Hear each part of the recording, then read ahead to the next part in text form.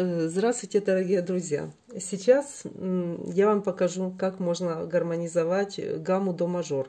Э, кто занимается вокалом, э, кто себе хочет подыгрывать распевки и хоть немножко аккомпанировать.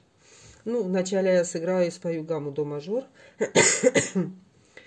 До, ре, ми, фа, соль, ля, си,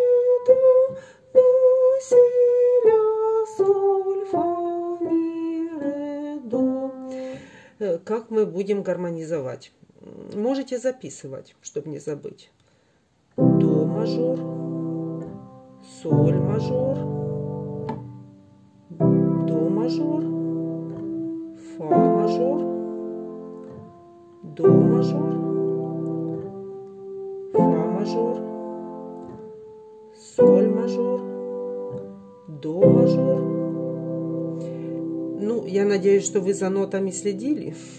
Теперь, когда вниз, то, значит, э, повторяем тонику до мажорную, да, но в левой руке будет идти ля минор. Ну, мне вот так нравится. Потом на си ми минор, на ля фа мажор, на соль до мажор, на фа фа мажор, на ми до мажор, на ре, соль мажор и в до мажор пришли.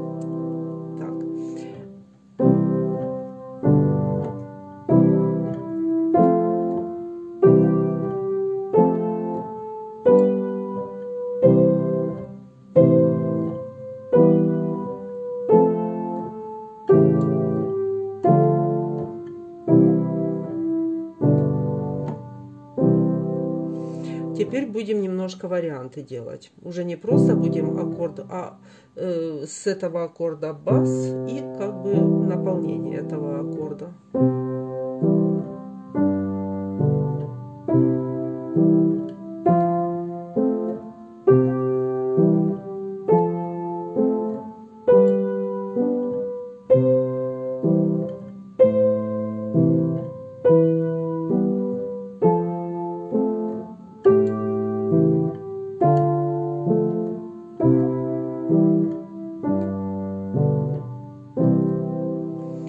Теперь давайте аккорд э, разложим на так называемые альбертиевы басы. Это с аккорда берется бас, верхушечка аккорда, серединка и верхушка.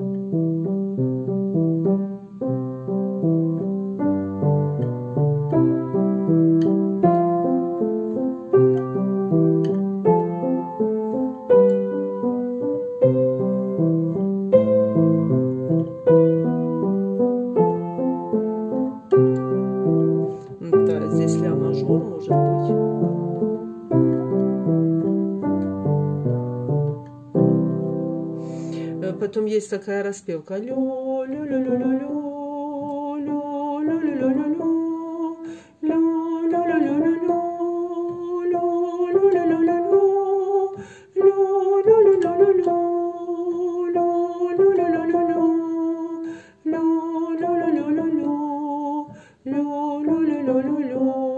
Здесь получается э, гармонизация на первый звук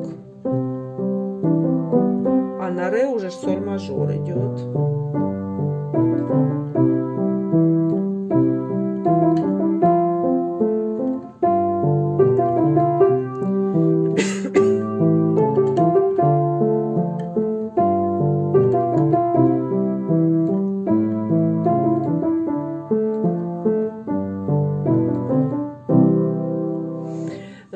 Насколько я знаю, что синтезаторы и, может быть, даже электронные пианино, вот есть сейчас такие инструменты, да, их можно подтягивать, как бы э, транспонирование в другую тональность будет идти, но играть будете то же самое, оно будет звучать, допустим, на полтона выше, там, еще больше. Напишите мне в комментариях, как оно, потому что, честно говоря, я электронными инструментами не занимаюсь. У меня дома акустическая пианино, и в школе тоже акустические фортепиано. Ну, те, которыми я пользуюсь, на которых детей учу играть. Ну, я вроде бы так слышала, что можно транспонировать. Это, конечно, очень удобно, потому что если на акустическом, вот приходится так играть. Я вот в нескольких тональностях вам сыграю. Ну, до мажор я уже сыграла, теперь...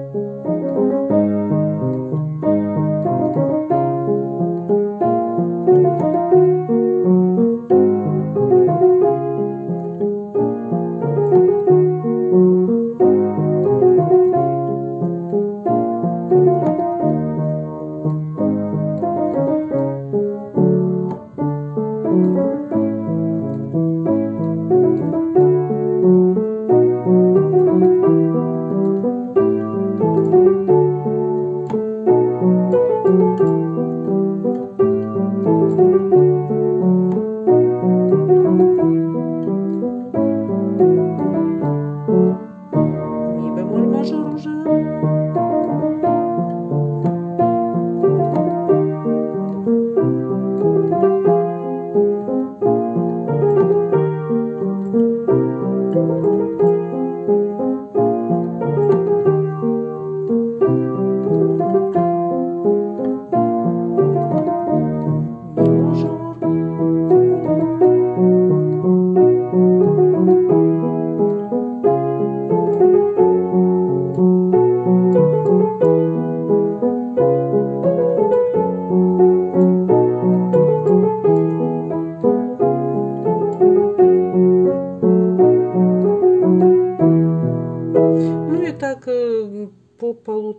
вот это в каждой тональности можно сыграть. Э, конечно, если сейчас действительно можно в любую тональность вот э, без транспорта подвигать на электронных инструментах, то это очень облегчает жизнь концертмейстеру, потому что на акустических, конечно, не получится так. Здесь надо уже транспонировать. Потому что бывает, допустим, вокалист приходит, профессиональный, да не обязательно профессиональный, даже детки учатся в школе. Например, э, в одной тональности написан аккомпанемент, и если еще легенький аккомпанемент, то там несложно.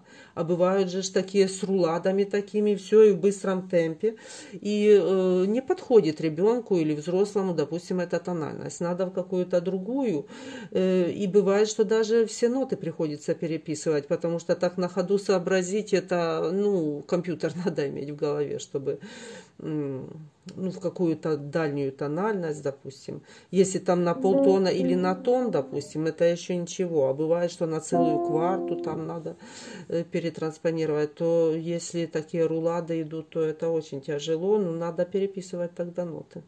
Ну, сейчас вообще компьютерные технологии, они настолько облегчают жизнь.